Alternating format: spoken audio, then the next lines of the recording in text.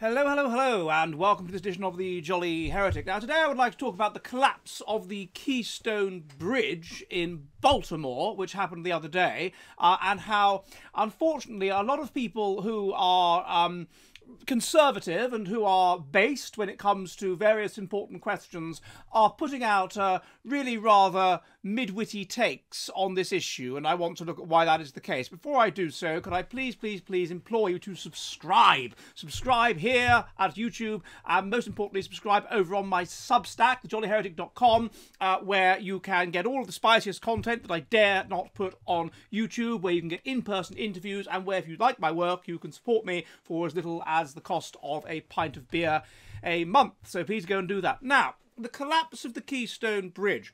The obvious um, thing to say, well, the obvious two things to say are one, uh, we have declining IQ uh, therefore, this happened because as you have declining IQ, you get more and more people making lots and lots of stupid mistakes. And when the bridge was erected, uh, perhaps it never occurred to the, the, builders that anybody would be stupid enough to crash into it uh, and, and, and, cause it to collapse like a load of dominoes. Uh, and so that's the reason. Or two, you try to argue it's to do with diversity and inclusion and that kind of thing. And oh, it must be that that's the reason why the person was made the captain of the ship and therefore the, it, it crashed.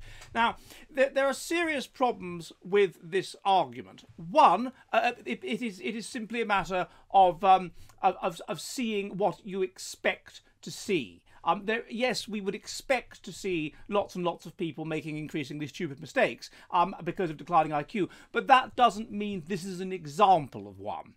There could be all kinds of reasons why that ship collapsed. There could be some sort of the equivalent of an autopilot that, that didn't work properly because of some sort of unforeseen malfunction.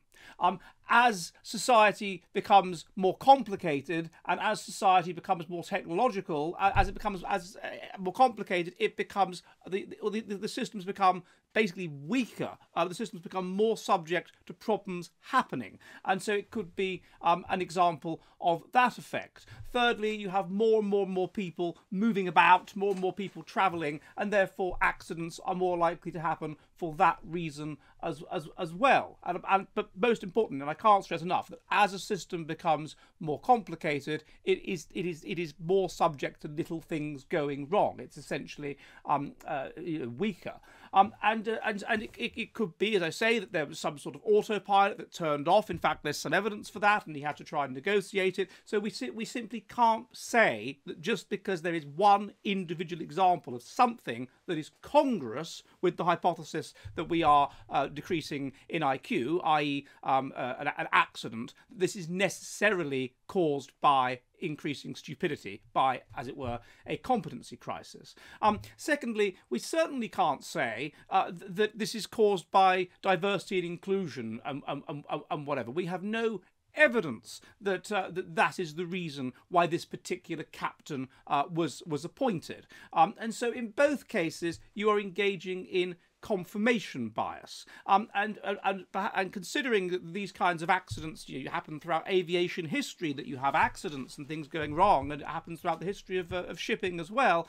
Um, it's not in, in some ways you could argue that it's the, it's the complex systems themselves and those systems going wrong in some way, um, which can cause accidents. And it's more likely to be that in this kind of case, just crashing into a bridge, than that, no, it's a stupid person that's been appointed a captain uh, or, or whatever it happens to be.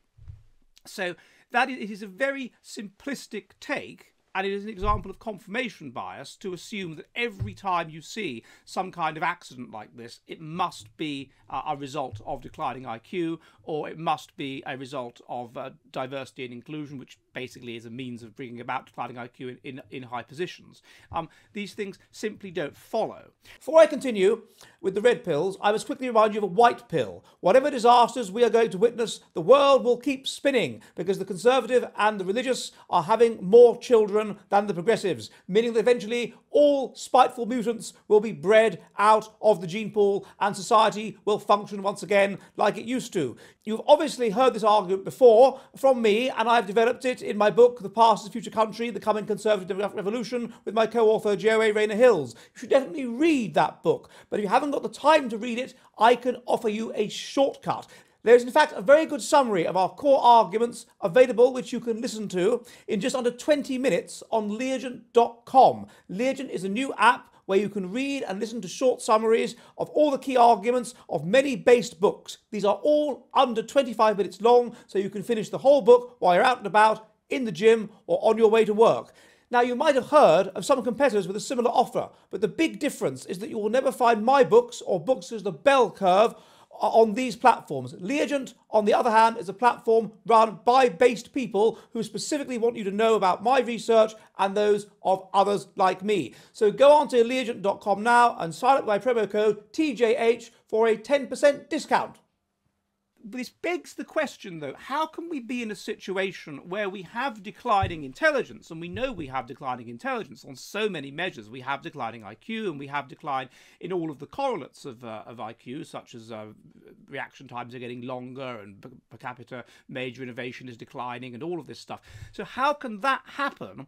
And yet, we are better able, we are increasingly able to do quite brilliant and amazing things, uh, most recently in terms of AI or uh, potential space travel or whatever it happens to be. Isn't this a contradiction? How can that possibly be the case? Well, no, I don't think so. I don't think it's a contradiction. And I looked at this in a book that I wrote many years ago called The Genius Famine with my colleague Bruce Charlton.